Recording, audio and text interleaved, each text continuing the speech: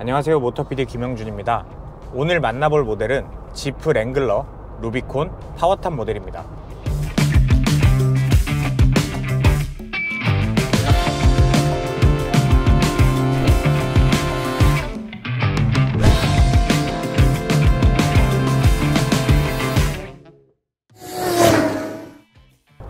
지난 영상에서 보여드렸던 사하라와의 비교를 위해서 오늘 다시 한번 또 이렇게 랭글러를 타고 있는데요 어떤 점들이 다른지 같이 한번 알아볼까요?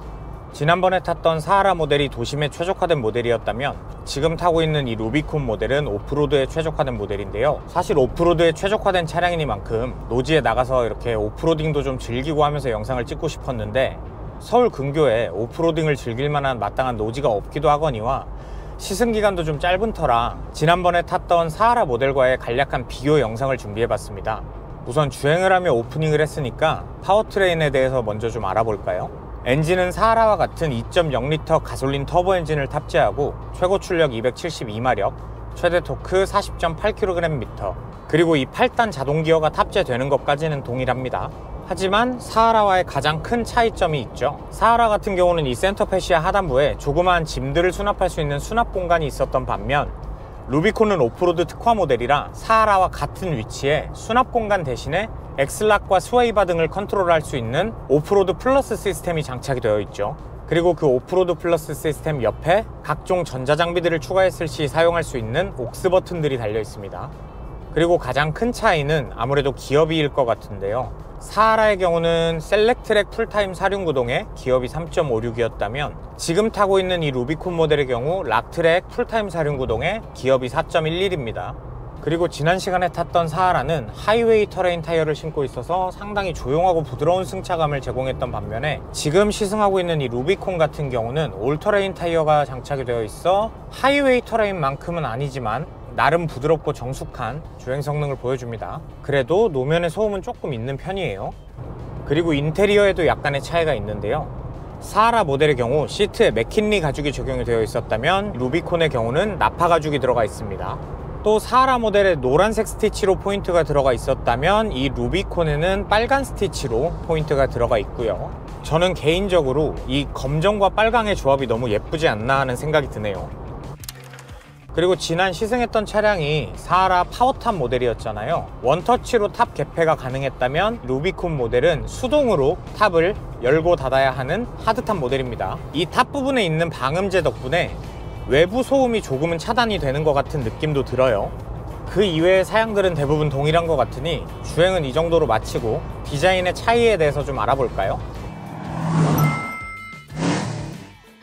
우선 지난 시간에 만나본 사하라와의 가장 큰 차이점은 바로 이 high fender입니다. 펜더가 보닛 라인의 끝단 바로 아래까지 이렇게 올라와 있어서 순정 휠에 inch up 없이 최대 35인치 타이어까지 장착이 가능하다고 하네요. 그리고 사하라 모델의 경우는 펜더의 컬러가 바디 색상으로 동일하게 적용이 되어 있었던 반면 루비콘의 경우는 이렇게 블랙 무광 마감의 펜더를 채용하고 있습니다. 그리고 앞에서 가장 눈에 띄는 부분인 이 seven slot grille과 헤드라이트의 커버. 사하라의 그릴과 헤드램프의 커버는 실버였던 반면에 루비콘은 metallic gray 컬러로 조금 더 묵직한 느낌을 주고 있습니다. 또 견인고리는 빨간색으로 강렬한 존재감을 드러내고요. 그리고 여기 보닛을 보시면 사하라의 매끈했던 보닛 라인과는 다르게 power dome 타입의 dual vented hood가 장착이 되어 있는 걸 보실 수가 있어요.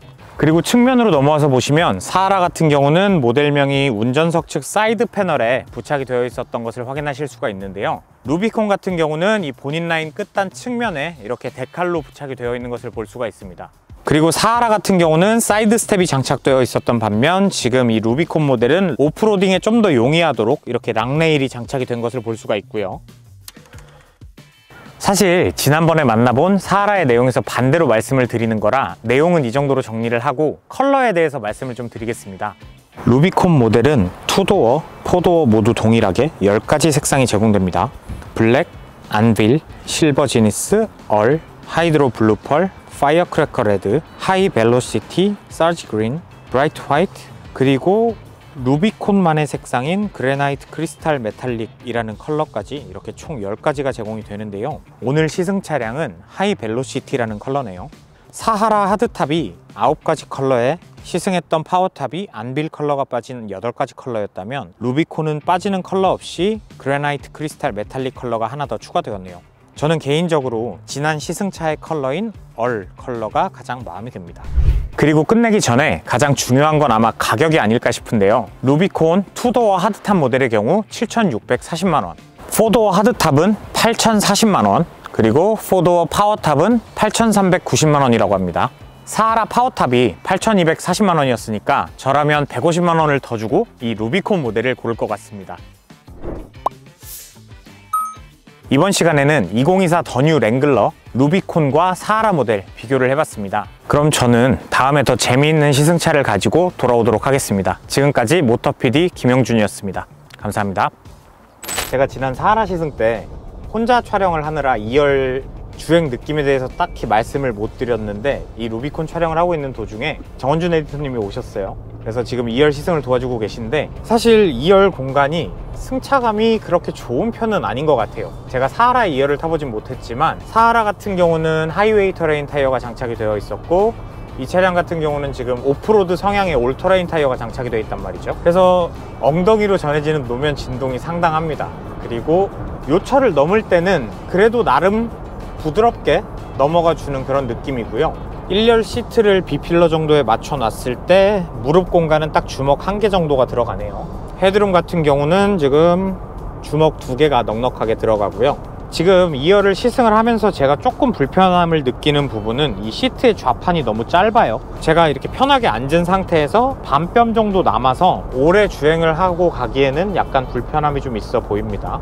그리고 편의 장비로는 USB A 타입과 C 타입이 마련이 되어 있는 걸 보실 수가 있고 지프만의 특징이라고 해야 할까요? 창문을 내리는 버튼이 대부분 이 도어 핸들에 있는데 지프 같은 경우는 앞뒤 모두 이렇게 가운데 윈도우 스위치가 있는 것을 보실 수가 있고요. 특이한 점은 그 220V AC 150W짜리 출력에 소켓이 하나가 딸려 있어요.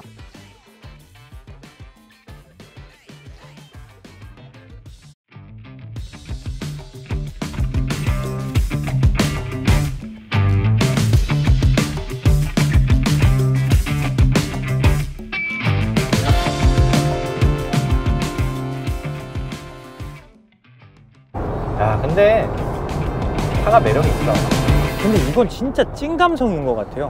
저는 어쨌든 간에 낮은 차를 타는 입장에서 그러니까 높은 차를 지금 이제 일주일을 타고 있는 거잖아요.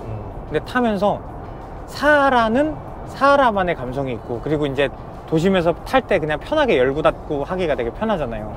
근데 얘는 또 이제 오프로드 같은 데 갔을 때 그냥 다 뜯어갖고 그냥 그치. 실어놓고 근데 진짜 그렇게 해갖고 딱 타고 다니면 어, 이제 제 지인들 두 명이 또 미니 타다가 랭글러로 넘어간 입장에서 기출을 하고 싶은 욕심이 좀. 아,